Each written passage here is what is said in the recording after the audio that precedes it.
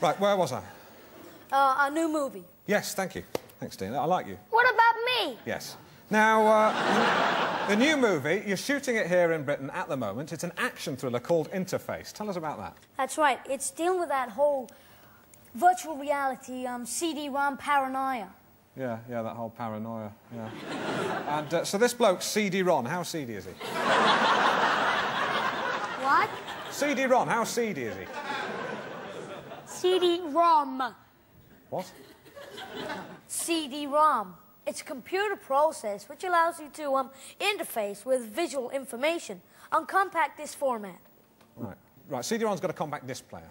Jesus Christ. But excuse me, can I ask you to watch your language, Andy?